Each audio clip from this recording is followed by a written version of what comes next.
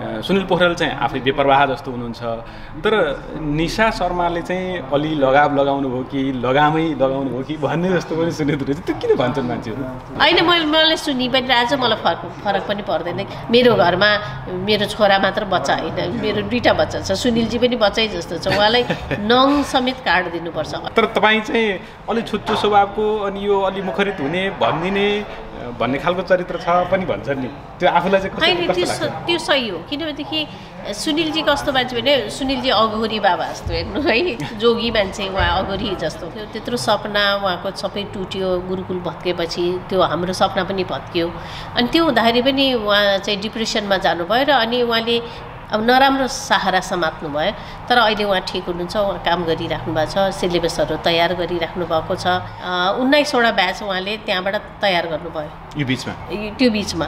र त्यो ब्याचका ब्याचमा सृष्टि श्रेष्ठ जुन अहिले हिरोइन छन् उनीहरूदेखि लिएर भेभरका अहिले ज जति पनि नयाँ फिल्मका हिरो हिरोइनहरू छन् उनीहरूले सबैले यहाँ यहाँ ट्रेनिङ लिएको छ कि? तपाईँको श्रीमान सुनिल पोखरेल भयो सरोज खनाल भिनाजु। भयो सूर्यमाला खनाल दिदी भयो।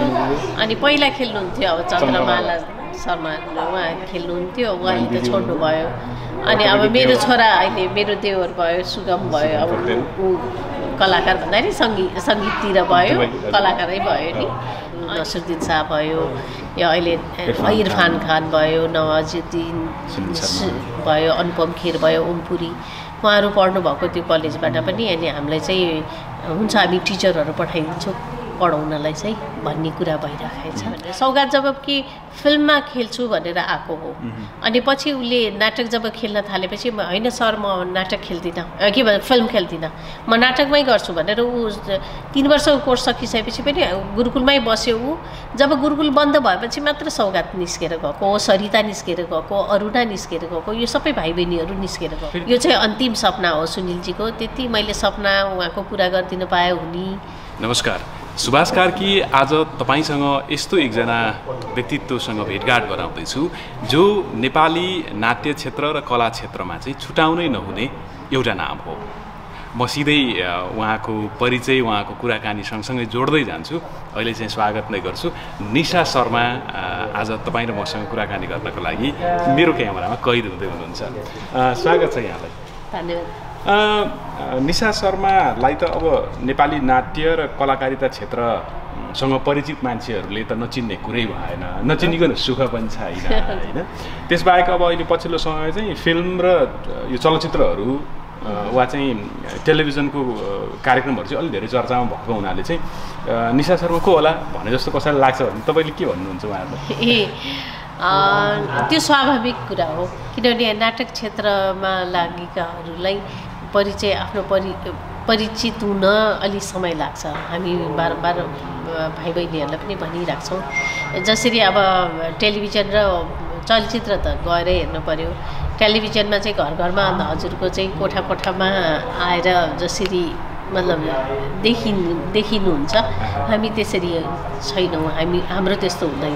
तपाईँले आफ्नै परिचय दिँदाखेरि चाहिँ? म निशा म कलाकार निशा शर्मा नै भन्न रुचाउँछु जति धेरै चाहिँ त्यो आफ्नो परिचयको परिधि फराकिनु हुँदै जान्छ उति चाहिँ आफू त्यो सानो ठाउँमा बस्नलाई धेरै रुचि हुँदो रहेछ मान्छे हजुर गुरुकुल आरोहण जो चाहिँ नेपालमा नाट्य क्षेत्रमा र कलाकारिताको जग नै भनौँ। त्यो खालको अभ्यासको लागि चाहिँ सुरुवाती काम गर्नुभएको अ, सुनिल पोखरेल उहाँहरू दुईजनाको जोडी चाहिँ नेपाली नाट्य क्षेत्रमा स्थापित नाम हो। त्यो सँगसँगै तपाईँसँग कुराकानी गर्दाखेरि चाहिँ तपाईँको नाट्य क्षेत्र र कलाकारिताको परिवार त व्यापक छ वृहत छ। तपाईँको आफ्नै परिवार परिवार पनि सबै कलाकारिता क्षेत्रमै हुनुहुन्छ।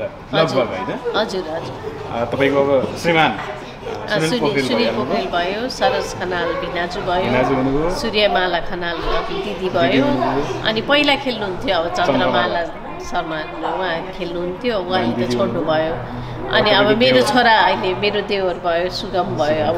ऊ कलाकार भन्दाखेरि सङ्गीत सङ्गीततिर भयो। कलाकारै भयो नि अनि अब मेरो छोराले पनि निशान्त पोखरेल उसले पनि डाइरेक्सन गर्छ। यो क्षेत्रतिर लागिरहेछ गरिरहेछ हजुर।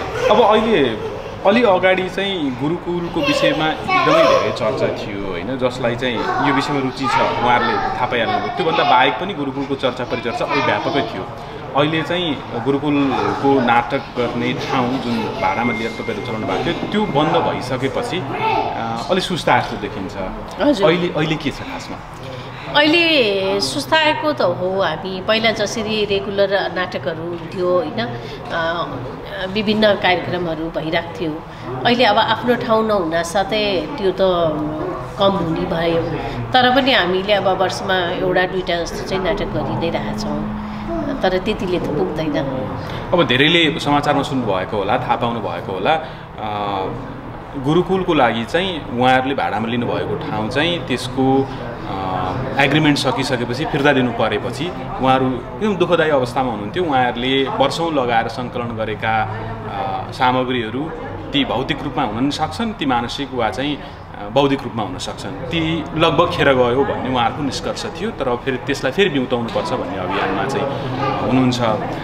त्यो सिलसिलामा सरकारसँग कुनै यस्तो ठाउँ देऊ हामीलाई भन्ने उहाँहरूले आह्वान गर्नुभएको थियो र त्यसमा किचन मल पनि बिचमा भइरहेको थियो। त्यो चाहिँ कहाँ पुगेको कुरा? ए त्यो चाहिँ हामीलाई खासमा भिरकुटी मण्डपमा चाहिँ दिने भनेर पाँच रोप्ने जग्गा दिने भनेर एग्रिमेन्ट भएर सबै भइसकेको थियो।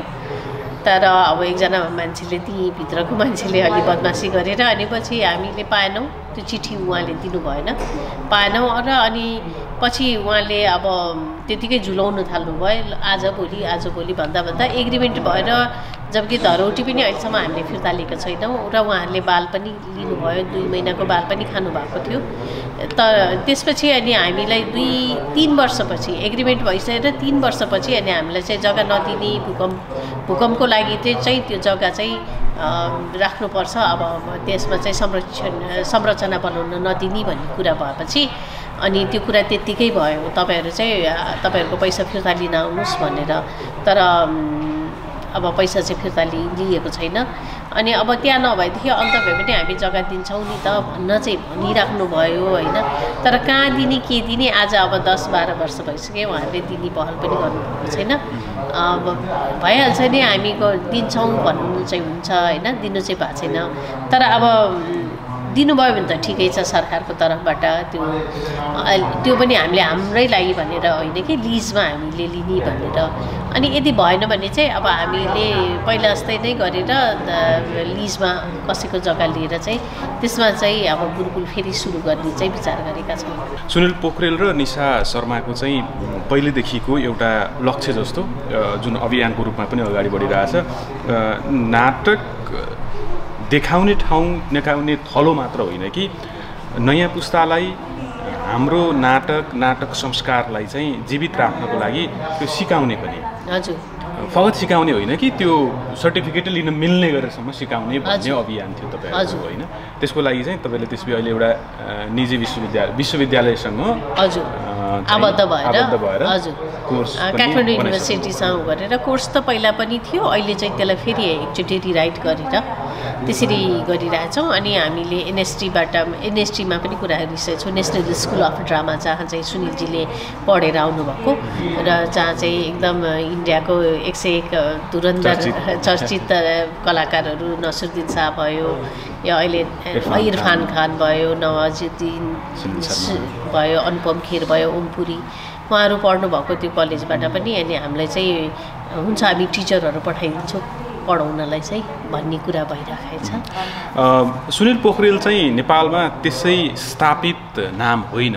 उहाँले चाहिँ जसरी अहिले भर्खर निशा शर्माले भन्नुभयो भारतका चर्चित त्यस्ता धुरन्धर कलाकारहरू जो चाहिँ नाट्य क्षेत्रबाट फिल्म क्षेत्रतिर आएर अझ बढी चर्चा कमाउनु भयो उहाँहरू पढेको ठाउँमा मात्रै पढ्नु भएको होइन सँगै पढ्नु भएको सँगैका सहकर्मी पनि हुनुहुन्थ्यो कतिजना जस्तो इरफान खानको चर्चा नेपाली पत्र पत्रिकाहरूमा मिडियामा पनि धेरै भयो। उहाँ बितेपछि होइन। फाटाफुट्टो भयो बित्नुभन्दा अगाडि चाहिँ होइन बितिसकेपछि चाहिँ सुनिल पोखरेलसँग उहाँको यस्तो सम्बन्ध थियो उहाँहरूको चारजनाको एउटा टिमै थियो त्यहाँ भने जस्ता कुराहरू पनि होइन। इन्टरभ्यूहरू हुँदाखेरि चाहिँ उहाँले भन्नुहुन्थ्यो तर अब मेरो साथी मेरो साथी भनेर उहाँले हरेक ठाउँमा चाहिँ उहाँले मेन्सन गर्नुहुन्न त्यो सुनिलजीको अलि स्वभाव पनि थियो। स्वभाव पनि थिएन र अनि इरफान खानको बारेमा एउटा डकुमेन्ट्री भन्दाखेरि पनि एनडी टिभीले एउटा प्रोग्राम गर्दाखेरि चाहिँ सुनिलजीलाई पनि नेपालबाट चाहिँ बोलाउनु भएको थियो। उहाँहरूले चाहिँ मतलब साथी चाहिँ नजिकको मिल्ने साथीहरू को को अरे भनेर भन्दाखेरि उहाँलाई पनि बोलाएर चाहिँ अनि त्यो त्यो डकुमेन्ट्रीमा उहाँलाई पनि राख्नु भएको थियो कतिपय प्रकाशित वा सार्वजनिक भएका तपाईँहरूका कुरामा सुनिल पोखरेल र। तपाईँका कुरामा चाहिँ हामीले अहिले गुरुकुल जे बनाउन खोजिरहेका छौँ जुन हाम्रो लक्ष्य छ त्यो भने चाहिँ सुनिल पोखरेलले जहाँ पढ्नुभयो त्यस्तै खालको ठाउँ बनाउने भनेर भन्नुभएको थियो त्यस्तै नै हो कि यहाँ हाम्रो चाहिँ अलिक मौलिक फरक हुन्छ। कस्तो हुन्छ तपाईँहरूको सोचमा? होइन खासमा सुनिलजीको विचार चाहिँ के थियो भने एनएसटी पढेर आइसकेपछि चाहिँ यस्तो एउटा थलो होस् जहाँ चाहिँ तपाईँ नाटक पनि गर्न सकुन् होइन? त्यहाँ बसेर साहित्यको कुरा पनि हामी बसेर चिया खाँदै चाहिँ कुरा गर्न सकौँ। र अनि फाइन आर्ट जुन पेन्टिङ आर्टको बारेमा पनि त्यहाँ एउटा एक्जिबिसन हल होस् जहाँ चाहिँ हरेक हरेक महिना एक एक महिनाको लागि अथवा पन्ध्र पन्ध्र दिनको लागि हरेक पेन्टरहरूको चाहिँ त्यहाँ एक्जिबिसन पनि ल लागोस्। त्यो सबै चिज त्यहाँ होस् एउटा लाइब्रेरी होस् मान्छेहरू आएर त्यहाँ डिस्कसन त्यहाँ विशुद्ध कला कला कारिताको मात्र कुरा होस्। त्यस्तो थलो उहाँले चाहिँ बनाउन खोज्नु भएको थियो। र उहाँको कन्सेप्ट चाहिँ त्यो थियो र गुरुकुल हामीले त्यो त्यही त्यही हिसाबले हामीले गुरुकुल स्थापना स्थापना गरेको थियौँ। र त्यहाँ हामीले पेन्टिङको वर्कसपहरू पनि गऱ्यौँ। बङ्गलादेशदेखि लिएर इन्टरनेसनल पेन्टिङ एक्जिबिसन पनि गऱ्यौँ। यता ललित कलासँग मिलेर बङ्गलादेशबाटदेखि लिएर भारतदेखिबाट लिएर आर्टिस्टहरू आएर उहाँ त्यहाँ चाहिँ त्यो जङ्गल जस्तो थियो। त्यहाँ बसेर पनि गर्नुभयो। उहाँहरूले त्यसरी पनि गऱ्यौँ हामीले। कवि कवि साहित्य सम्मेलन क अनि गुरुकुलले नै सुरु गरेको कविता चाहिँ टिकट काटेर कविता सुन्ने चलन चाहिँ हामीले हामीले नै सुरु गरेको थियौँ अनि हरेक महिना एउटा गते हामीले फिक्स गरेको थियौँ त्यो गते चाहिँ शास्त्रीय सङ्गीतको चाहिँ भोकल अथवा म्युजिक चाहिँ हामीले नै त्यसरी तयार गरेको थियौँ त्यो सबै चिजहरू भइ नै राखेको थियो। अब अचानक बन्द भयो त्यो दुःख लाग्दो कुरा हो।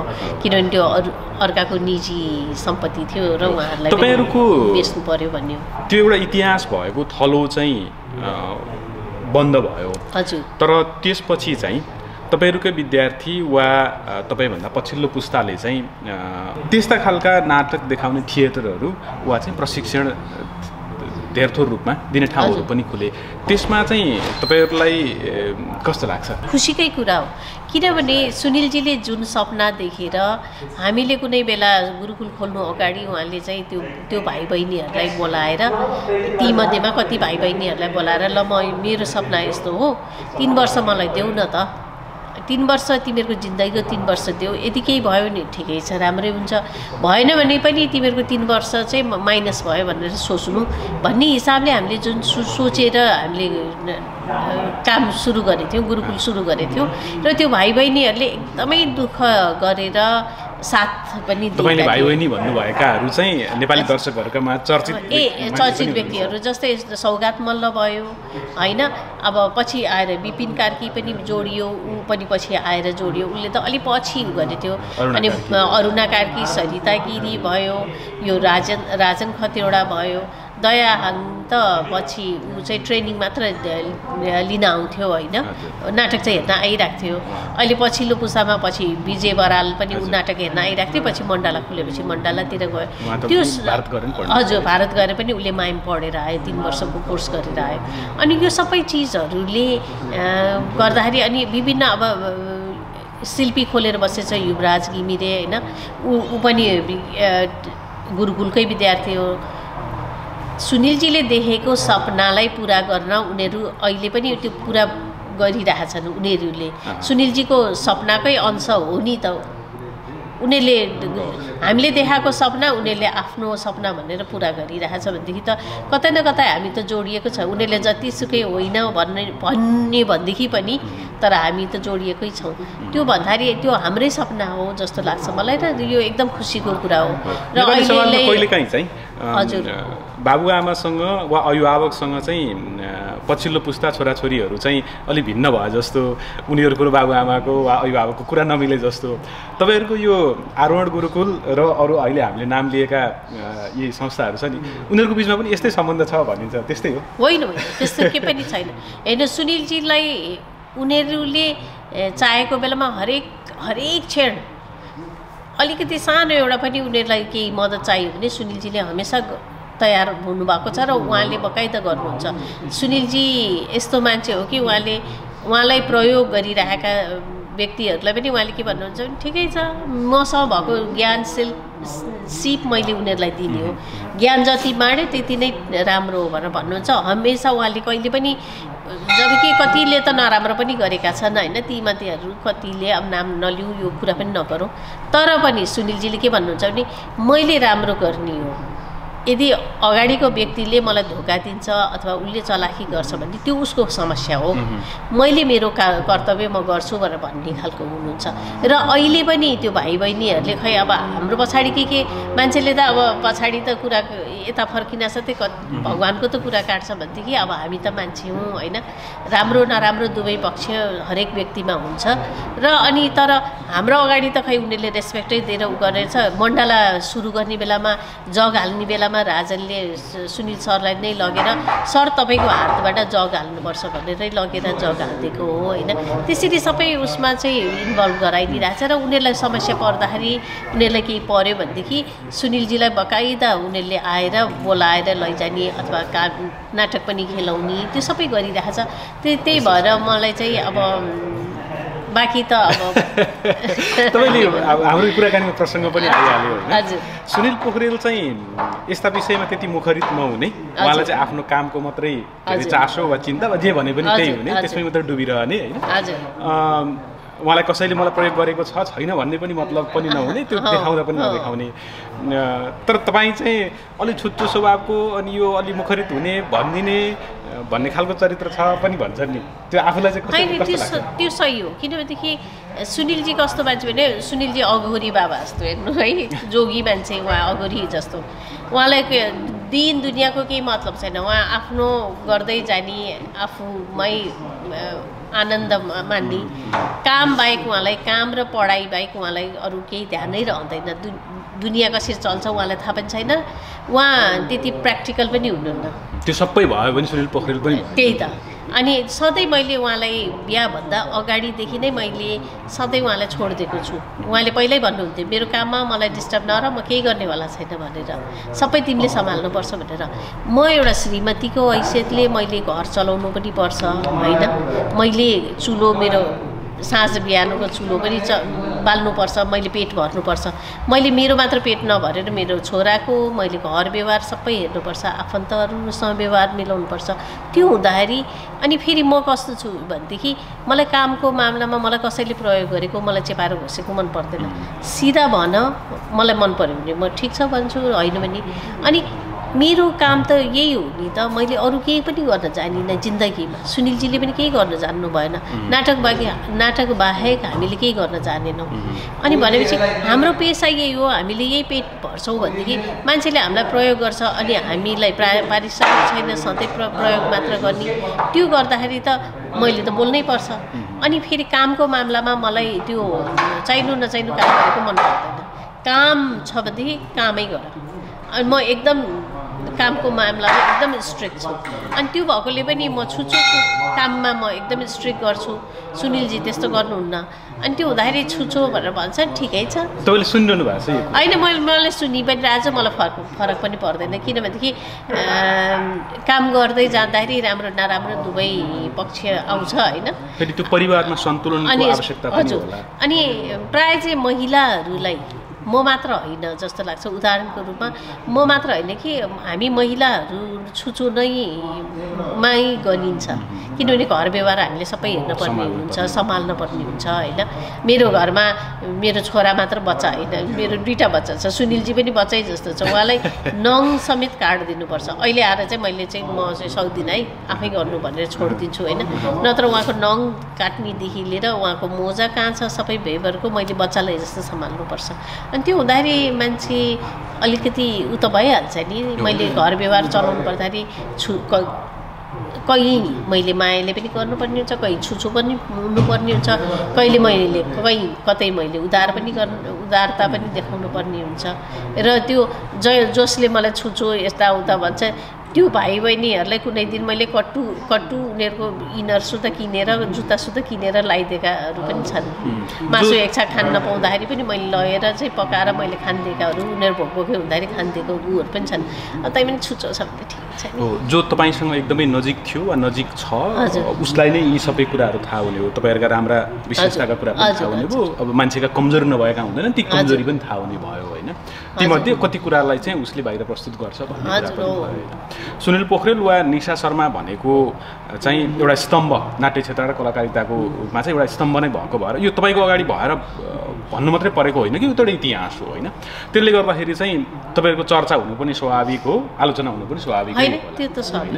तर अब यो सँगसँगै चाहिँ त्यही भन्ने मान्छेहरूले अर्को के पनि भन्दा रहेछन् भने सुनिल पोखरेलको जुन क्षमता छ जो जसरी उहाँ चाहिँ अझ प्रस्तुत हुन सक्नुहुन्थ्यो बिचमा जुन अलिकति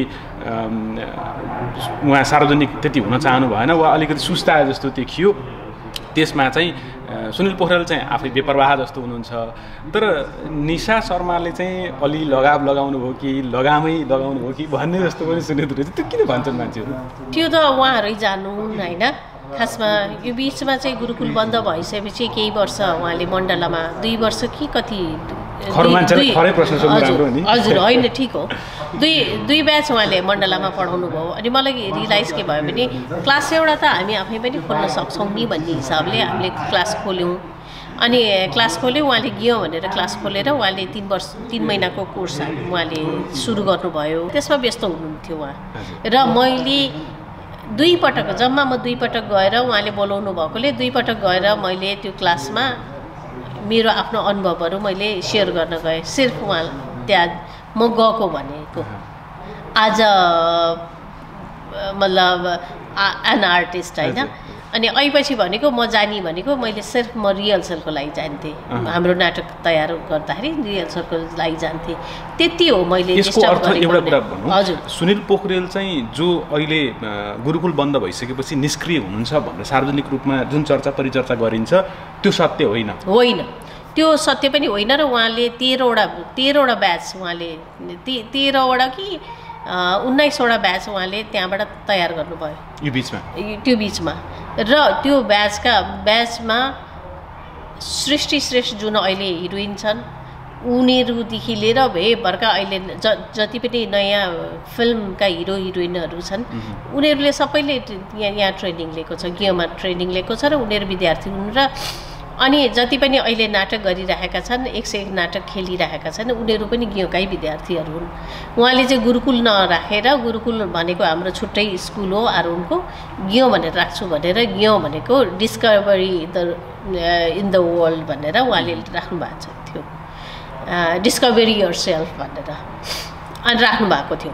उहाँले त्यो नाम राखेर उहाँले चाहिँ अम, क्लास चलाउनु भएको थियो र अहिले त्यो बच्चाहरूलाई लिएर यो पछिल्लो लकडाउनभन्दा अगाडि उहाँले पैँतालिसजना बच्चाहरू त्यहीँबाट छानिएर पैँतालिसजना बच्चाहरूलाई लिएर नाटक गर्नु त्यो त्यो मण्डलामा कहिले गर्छौँ? कहिले शिल्पीमा गऱ्यौँ होइन। अब बिचमा जस्तै बिचमा हामीले हरियो ढुङ्गा यो नेपाली भुटनिजहरूको समस्यामाथिको प्रताप सुब्बा कि कसले लेखेको उसले लेखेको त्यो त्यो नाटक गरेँ होइन। अब विभिन्न नाटकहरू त गरि- गरि- गरिराख्यौँ नि गरिराख्यौँ हामीले। हामीले बेला बेलामा नाटक गरेर रसोमन गऱ्यौँ हामीले जबकि हामीले फेस्टिभलमा लग्यौँ होइन। तपाईँसँगको मेरो यहाँ भेटघाट हुँदैछ भनेपछि केही आफन्त साथीसँगै। यहाँ बस्नेहरू चाहिँ मैले गुरुकुलमा गएर एउटा नाटक हेरेको थिएँ। त्यो नाटक चाहिँ त्यति बेला मलाई अब त्यस्तो धेरै जानकारी भएन खुब मजा। आयो। नामै लिनुभएको थियो सौगात मल्लले गर्नुभएको कुनै एउटा नाटक थियो अरे त्यसमा। त्यहाँ हेरेको थिएँ। पछि मैले यहाँ आएर अमेरिकामा पढ्ने बेला चाहिँ त्यो कोर्समा पढ्नु पऱ्यो। मलाई यति सजिलो हो कि? त्यति बेला मलाई सबै भिजुलाइज भयो भन्नुभएको थियो। किनभने धेरै नाटकहरू हामीले जुन गरेको कोर्समा पढ्नु पर्थ्यो र अब जस्तै सौगात भयो अब विभिन्नहरूले गरि गरिरहेको थियो विपिनले पनि पछि अब अहिले पो पछि गुरुकुल बन्द भयो र त्यो भाइ बहिनीलाई पनि म दोष दिन्न होइन? किनभनेदेखि उनीहरूले गर्ने के के गर्ने रे भनेर सौगात जब कि फिल्ममा खेल्छु भनेर आएको हो। अनि पछि उसले नाटक जब खेल्न थालेपछि होइन सर म नाटक खेल्दिनँ के भन्छ फिल्म खेल्दिनँ। म नाटकमै गर्छु भनेर ऊ तिन वर्षको कोर्स सकिसकेपछि पनि गुरुकुलमै बस्यो ऊ। जब गुरुकुल बन्द भएपछि मात्र सौगात निस्केर गएको सरिता निस्केर गएको अरुणा निस्केर गएको यो सबै भाइ बहिनीहरू निस्केर गएको। फेरि त्यो स्वाभाविक प्रक्रिया पनि हो किनभनेदेखि स्वाभाविक प्र- प्रक्रिया पनि हो र अहिले पनि हामीले नाटक गर्दाखेरि जस्तै हामीले एकचोटि उनीहरूलाई बोलायो भने उनीहरू दौडेर आउँछ नाटक खेल्नु ल भनेर भन्छ अहिपछि पनि भन्छ हामी नाटक कहिले खेल्ने गरौँ न गरौँ भनेर भनिरहेको हुन्छ। भन्दाखेरि अहिले त हाम्रो आफ्नो ठाउँ आफ्नो भेन्यू नभएर न हामीले रेगुलर काम गर्न नसकेको। अनि त्यही भएर पनि मलाई के लाग्छ भने मैले रोकेको भएदेखि त्यो विद्यार्थीहरू पनि जन्मिँदैन थियो होला त्यो यहाँका त्यत्रो ब्याचका बच बच्चाहरू पनि जन्मिँदैन थियो होला। मैले सुनिलजीलाई अब त्यो त मलाई यो बारेमा केही भन्नु नै छैन किनभनेदेखि सबैको आफआफ्नो सोच हो होइन। अब उहाँहरूलाई त्यस्तो लाग्छ भने त्यो हामी सधैँ मिडियामा अगाडि आएर मैले यस्तो गरेँ मैले उस्तो गरेँ भनेर हामी त्यो भन्नेमा विश्वास गर्दैनौँ हामी काममा विश्वास गर्ने मान्छे हो। कामले देखाउने हो म तपाईँको काममै। जुन लक्ष्य छ तपाईँहरूको हजुर। यो लक्ष्यसँग चाहिँ तपाईँहरूले यो राज्यकै एउटा महत्त्वपूर्ण थलो बनाइदिउँ यसलाई हाम्रो इतिहाससँग चाहिँ यसलाई जगेर्ना गरिराखौँ भन्ने अभियान हजुर गरिरहनु भएको छ सुरुदेखि नै अनवरत लागिरहनु भएको छ होइन यसमा राज्यले नै कुनै न कुनै हिसाबले सघाइदिने भनिसकेपछि चाहिँ यसमा सुनिल पोखरेल वा निशा शर्मा वा उहाँहरूले गिने चुनेका मान्छेहरूको समूह मात्रै भन्दा नि सबै नाट्य क्षेत्रमा कलाकारिता क्षेत्रमा लागेका सबै जस्तो समेट्ने गरी एउटा समूह भइदिएदेखि सबैले अपनत्व महसुस गर्न पाउँथे नि भन्ने जस्तो पनि कुरा आउँछ। त्यसमा चाहिँ तपाईँको राय के छ? यो कुरामा चाहिँ मलाई केही भन्नु छैन किनभनेदेखि यो सम्भव पनि रहेनछ। किनभने हामीले पहिला गुरुकुल भनेर सबैलाई जुन भाइ बहिनीहरूलाई रहर थियो नाटकहरू डान्सहरू गर्थे उनीहरूलाई समेटेर हामीले एउटा गुरुकुल थापना स्थापना गऱ्यौँ। त्यसपछि अब स्वाभाविक रूपमा सधैँ एउटै ठाउँमा त बसिराख्नु न तपाईँ अझ माथि अगाडि बढ्न चाहनुहुन्छ। भाइ बहिनीहरूले आफआफ्नो थलो खोले आफआफ्नो ग्रुप बनाए अहिले आफआफ्नो हल बनाएर बसेका छन्। काम गरिरहेका छन्। त्यो स्वाभाविक कुरा हो। आउने जाने क्रम रहिरहन्छ। तपाईँहरू विद्यार्थी आउँछन् उनीहरू फेरि जान्छ अर्को उनीहरूको अझ त्योभन्दा राम्रो कामहरू खोज्न जान्छन्। अनि एकचोटि इन्डियन एम्बेसीले मलाई बोलाएर तपाईँले लौ न सबैलाई समेटेर लिएर आउनुहोस्। यस्तो एउटा थलो ठाउँ बनाऊ जहाँ चाहिँ हल हामी बनाइदिन्छौँ। र त्यहाँ चाहिँ सबै सबैको साझा होस् त्यो ठाउँ। मेरो तेरो भन्ने होइन। हामी त्यस्तो ठाउँ बनाइदिन्छौँ तपाईँहरूले गर्नुहोस् भनेर भन्दाखेरि कसैले पनि मानेन। किनभने हाम्रो आफ्नै ग्रुपहरू छ हामी गएर मिसिएर काम नगर्ने हाम्रो आफ्नै आइडेन्टिटी बनिसक्यो भन्ने हिसाबले। अनि त्यो हुँदाखेरि सबैले आफआफ्नो उनीहरूले दुःख गरेर जस्तै आरुण गुरुकुल भनेर छुट्टै एउटा जुन पहिचान बन्यो उनीहरूको पनि जस्तै मण्डलाको पनि त दुःख दुःख सुख गरेर उनीहरूले तयार गरे शिल्पीको आफ्नै गर्यो शैली भनेर अर्कै छ। त्यो सबै गर्दाखेरि अनि त्यो हुँदाखेरि चाहिँ सबैले आफआफ्नो त्यो आइडेन्टिटी बनाइसकेपछि फेरि आएर मिसिएर गर्दाखेरि भनेर भन्दाखेरि के आइडेन्टिटीको हिसाबले त? इन्डिभिजुअली आएर त हामीले काम गरि नै रहेका छौँ तर संस्थाहरूलाई सबै ठाउँमा एकै ठाउँमा मिसाउने चाहिँ त्यो सम्भव नहोला जस्तो लाग्छ मलाई त्यही भएर यसरी नै अहिले हजुर, हजुर। अब तपाईँ यही सिलसिलामा चाहिँ अहिले अमेरिकामा हुनुहुन्छ? हजुर। तपाईँहरूको यो साझा सपनालाई साकार पार्नको लागि चाहिँ अब हात फैलाइरहेको छु भन्ने हिसाबले तपाईँले नै नभने नि मैले भने शब्द होइन अम, यो अभियानमा हुनुहुन्छ यहाँ चाहिँ के को लागि हुनुहुन्छ र अब के गर्ने छ खासमा? मेरो अलिकति निजी काम थियो म त्यसैले यहाँ आउँदै थिएँ अनि यहाँको दाईहरू जो सुनिलजीको साथीहरू हुनुहुन्छ दिदीहरू हुनुहुन्छ उहाँहरूले चाहिँ अनि के गर्दैछौ तिमीहरू के कसो भनेर भन्दाखेरि अनि हामीले फेरि अब गुरुकुललाई चाहिँ शून्यबाट फेरि सुरु गर्नु पर्ला जस्तो छ सोचिरहेछौँ। यो चाहिँ अन्तिम सपना हो सुनिलजीको। त्यति मैले सपना उहाँको पुरा गरिदिन पाएँ हुने। अब तर म एक्लैले त सक्दिनँ किनभनेदेखि मसँग त्यति पैसा पनि छैन होइन? अनि गुरुकुल बन्द हुँदाखेरि थुप्रो ऋण थियो जस झन्डै चालिस लाख थियो। त्यो म म एक्लैले तिरेँ होइन। त्यो त्यति बेलाको ऋण मैले भर्खर पाँच वर्ष अगाडिसम्म पनि तिर्दै थिएँ। अनि त्यो हुँदाखेरि मसँग त अब जम्मा पुँजी केही पनि छैन। मैले पाएदेखि अब अलिअलि केही गर्नु पर्ला जस्तो छ। अब हेरौँ खोजखाज गरेर केही भयो भने गुरुकुल होइन? त्यही त? अनि फेरि एकचोटि सुरु गर्नु पर्ला। हामी त्यसमै तयारीमा छौँ। कलेजको लागि चाहिँ एउटा कलेजले कुरा गरिरहेको छ। उनीहरूसँग मिलेर गर्छौँ कलेजको लागि चाहिँ भन्दाखेरि। अनि सबैले के भन्यो भने यो सुनिलको अन्तिम सपना सुनिलले जिन्दगी आफ्नो दियो होइन। अन्तिम सपना हो भने हामी पनि पुरा गर्छौँ नि त। हामी पनि त छौँ नि त यहाँ। त्यो सपनामा त हामी पनि त जोडिएका थियौँ नि पहिला पनि। र हामी आएर नाटक हेर्ने थलो त्यो गर्ने भनेदेखि फेरि सुरु गर्ने हो भने यो एकदम राम्रो काम हो। ल हामी छौँ तिमी आऊ। अनि हामी सबैजना मिलेर के कसो गर्नुपर्छ हामी गरौँला भनेर भन्ने कुरा भयो। अनि उतैबाट मैले यहाँ जस्तै यहाँ पनि सम्पर्क गरेँ गोकुलजीसँग सम्पर्क गरेँ तपाईँले कोअर्डिनेट गरिदिनुहोस् भनेर भने मैले। तपाईँले के कसरी गर्नुपर्छ तपाईँ कोअर्डिनेट गोकुल पौडेलजीलाई भने। अनि अब त्यस्तै पिच वर्कमा त्यहाँ भाइहरू छन् एकजना मनोरथ पोख पोखरेल भन्ने उहाँ भाइले पनि होइन भाउजू ठिक छ आउनुहोस् त हामी के कसो गर्नुपर्छ गरौँला भन्ने अब हेरिस वर्कमा पनि बोलाएको छ वर्कसप एउटा पनि छ मेरो। त्यो भयो सान फ्रान्सिस्कोमा सहजमान श्रेष्ठ दाईले भन्नुभयो निशा तिमी चिन्ता नगर सुनिलको लागि हामी छौँ गुरुकुलको लागि हामी छौँ। सुनिल भनेकै गुरुकुल जस्तो भइसक्यो आरोहण गुरुकुल भइसक्यो होइन। हजुर। अनि आरोहणको लागि हामी छौँ आरोहण गुरुकुलको लागि ल त्यो खोल्नेमा हामी हाम्रो पनि देन गर्छौँ भने। अनि गुरुकुल फेरि पहिला पनि यो मेरो गुरुकुल भनेर हामीले समातेर पनि बसेको थिएनौँ। त्यो एउटा साझा थलो थियो जो सबैजना मिसिएर आएर सबैको सपना पुरा गरेका थिए। अनि अब त्यो सपना पुरा भयो सबैजना आफआफ्नो सपना पुरा गर्न फेरि हिँडे।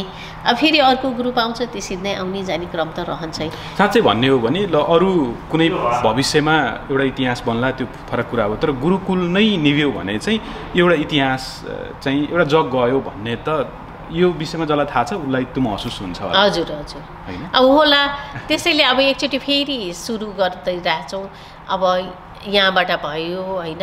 अब यहाँबाट अलिकति हामीले आशा गरेका छौँ साप सबै साथीहरूले मद्दत गर्छु भन्नुभएकोले म आएँ होइन। सबैजनासँग अनि हामीले के गर्न लाग्छौँ हाम्रो आजको अहिलेको इन्ट्रेक्सन अहिले छ ढिलो भयो भनिरहनु भएको छ उहाँले। अनि अब गुरुकुलको बारेमा उहाँहरूलाई बताउने के कसो अब भविष्यमा के प्लान छ हाम्रो त्यो सबै बताउने। अब हेरौँ। अनि हाम्रो एउटा चाहिँ लाइफ मेम्बर भनेर पनि बनाउने विचार छ।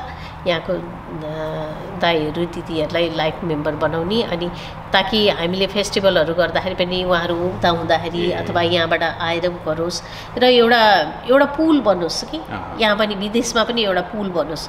यहाँको भाइ बहिनीहरूले जसरी नेपालीहरू बिर्सिरहेछ बच्चाहरूले नेपाली बिर्सिरहेछ भने हामी आएर हाम्रो नेपाली कल्चर उनीहरूलाई सिकाउने वर्षमा एकचोटि मात्र आएर भए पनि उहाँहरूले नै उता ल्याएर भए पनि त्यो एउटा पुल बनोस् भन्ने पनि हाम्रो चाहिँ चाहना हो छ। यो कुराकानीको अन्त्यमा चाहिँ अब। तपाईँ र मेरो यो कुराकानी भइरहँदाखेरि चाहिँ निशा शर्मा र सुनिल पोखरेलको विषयमा चर्चा स्वाभाविक हो मान्छेलाई रुचि पनि हुन्छ हेर्ने दर्शकलाई पनि पक्कै त्यो रुचि हुन्छ किनभने। हामी पनि तपाईँको वा सुनिल पोखरेलको अन्तर्वार्ता आइरहेछ भने के रहेछ भनेर चासो त्यस्तैमा गरिन्छ सुनिल पोखरेल चाहिँ यो बिचको समयमा अघि हामीले कुराकानी गरे जस्तै उहाँले कुनै कुनै अन्तर्वार्ताहरू पनि त्यसरी आफू बेपरवाह जस्तो भयो। जसरी पनि दिनुभएको थियो त्यसले झन् थप चर्चा पनि भएको थियो।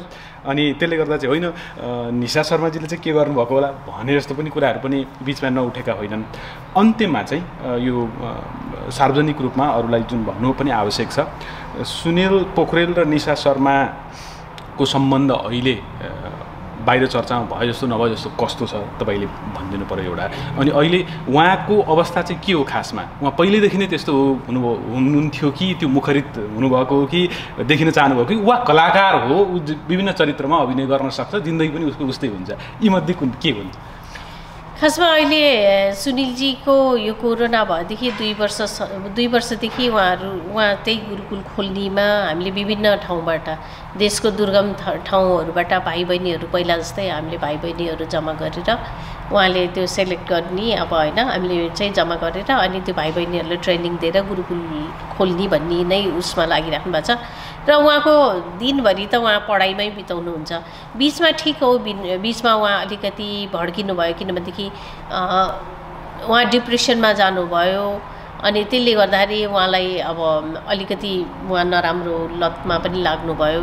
किन रे भनेर भन्दाखेरि त्यो राज्यबाट पनि वाक्क सबैले सपना देखाउने ल ए भइहाल्छ नि हामी तपाईँहरूलाई उ गर्छौँ भन्ने न तर नगर्ने।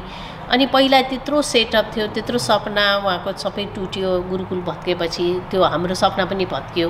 अनि त्यो हुँदाखेरि पनि उहाँ चाहिँ डिप्रेसनमा जानुभयो र अनि उहाँले मान्छेले केही न नगर्ने काम गरिरहेको मान्छे एकदमै एक्टिभ मान्छेले केही नपाउ सट्ट केही पनि नहुँदाखेरि जिरो हुँदाखेरि तपाईँ एउटा न एउटा ठाउँ समात्छ एउटा न एउटा सहारा समात्छ। उहाँले पनि अब नराम्रो सहारा समात्नु भयो तर अहिले उहाँ ठिक हुनुहुन्छ उहाँ काम गरिराख्नु भएको छ सिलेबसहरू तयार गरिराख्नु भएको छ। दिनरात पढ्नुहुन्छ नाटकहरू खोज्नुहुन्छ। म यो यो नाटक गर्छु भनेर नाटकहरू कथाहरू सोध्नु खोज्नुहुन्छ। अब पढा पढ्न त उहाँ एक मिनट पनि चुलाएर बस्नुहुन्न पढाएको पढेको पढै हुनुहुन्छ। पहिला पनि अब उहाँ धेरै नबोल्ने मान्छे होइन। उहाँ अलिकति र अनि बोल्दाखेरि पनि उहाँलाई अब त्यो उहाँलाई जस्तो लाग्छ त्यसरी नै बोलिदिनुहुन्छ। उहाँ त्यति धेरै लामो बोल्नु पनि हुन्छ उहाँको विशेषतै त्यही हो। त्यही हो। त्यही भएर अनि उहाँलाई जस्तो लाग्छ त्यो बनावटी गर्न आउँदैन उहाँलाई। त्यो अब त्यो शब्दहरू पनि सजाएर बोल्न आउँदैन उहाँलाई। अनि त्यो भएकोले उहाँ चाहिँ त्यही सामान्य हो हुनुहुन्छ, सामान्य सक्रिय हुनुहुन्छ सक्रिय हुनुहुन्छ। अहिले पनि अब कति भाइ बहिनीहरूले नाटकहरू लेख्छ कथाहरू लेख्छ उहाँलाई पढ्न पढ्ने ल्याइ पढिदिनु न सर के गरौँ भन्छन्। नाटकै गर्ने भाइ बहिनीहरू पनि उहाँसँग चाहिँ सल्लाह लिन आउँछ कसरी गर्दाखेरि ठिक हुन्छ भनेर। तर मैले अघि पनि भने नि हामीलाई चर्चामा बस्नु मन लाग्दैन। हामी बसेर खुरुखुरु हामीले आफ्नो काम गरिरहेछौँ। अब अहिले जस्तै म एकाडेमीमा छु होइन? सङ्गीत तथा नाट्य प्रज्ञा प्रतिष्ठानमा छु। प्राज्ञ छु। तर अब त्यहाँ बजेटको लिमिट र अनि त्यही हिसाबले मैले काम जसरी गर्नुपर्ने हो मैले मैले गरिरहेको छु। बाँकी त हामीले आरोहण गुरुकुलको लागि जे जति तयारी गर्नुपर्छ गरिरहेको छ। हुन्छ यो समय दिनुभयो यो कुराकानी हो। हजुर। धन्यवाद। सुनिल पोखरेलको विषयमा उहाँको अन्तरङ्ग जीवनशैलीको विषयमा उहाँसँग नै कुरा भलै उहाँको श्रीमती भए पनि उहाँसँग नै त्यसको पुष्टि गराउनु वा उहाँसँग जवाब खोज्नु चाहिँ बढी गतिलो काम हुन्थ्यो होला। यद्यपि उहाँको विषयमा जे कुरा गऱ्यौँ त्यो हाम्रो चाहिँ उहाँप्रतिको सम्मान हो भनेर दर्शकहरूले बुझिदिनुहुन्छ भन्ने मैले आशा लिएको छु। र धेरै धन्यवाद तपाईँहरूले पनि हेरिदिनु भयो केही कुराहरू छन् भने कमेन्ट गर्नु होला अ, नमस्ते।